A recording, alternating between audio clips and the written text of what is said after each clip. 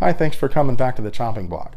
What we're going to look at today is Black Hills 5.56 millimeter 50 grain TSX. That's the red box.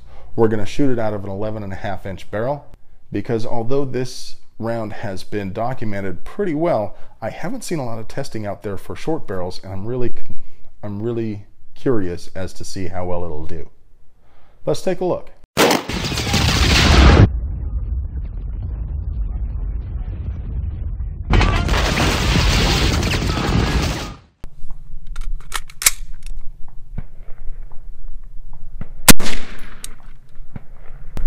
Two nine three seven.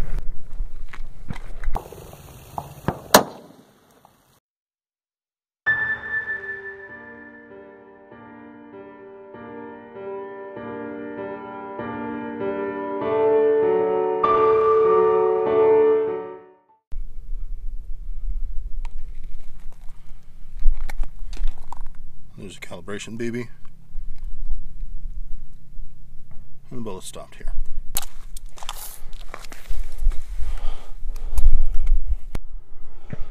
Penetration is 14.4 inches. Neck.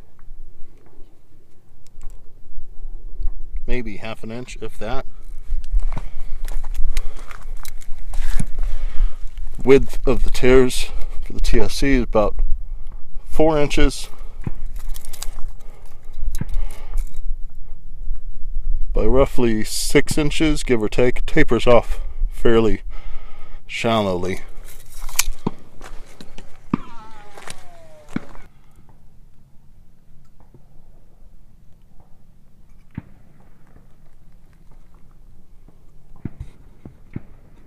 Okay, that was stupid legit. This is exactly what you want to see from 5.56 defensive ammunition. Extremely short, almost non-existent neck, wide expansion, big temporary stretch cavity, decently long temporary stretch cavity, lots of disruption, lots of early disruption, just went off like a bomb. But it had perfect weight retention, big expansion for a 0.224 inch projectile. And of course, absolutely textbook perfect penetration. Well over that 12 inch minimum, but well under that 18 inch maximum. Really, not much more you could ask for. Like I said, I wasn't really sure how it would do out of the short barrel. I'm really impressed. Um, I'm so impressed actually that I'm going to switch from my current home defense load of 75 grain Prvi Partizan boat tail hollow point to this 50 grain TSX.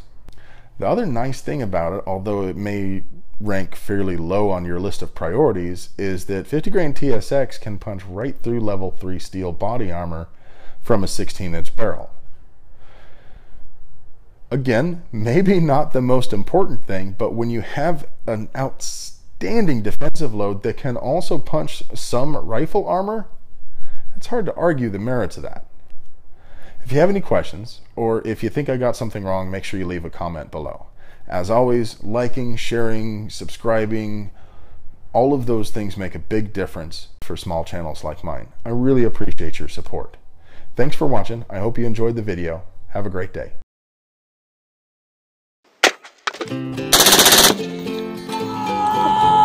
Oh,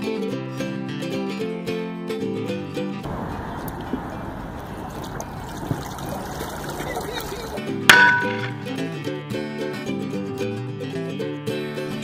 you.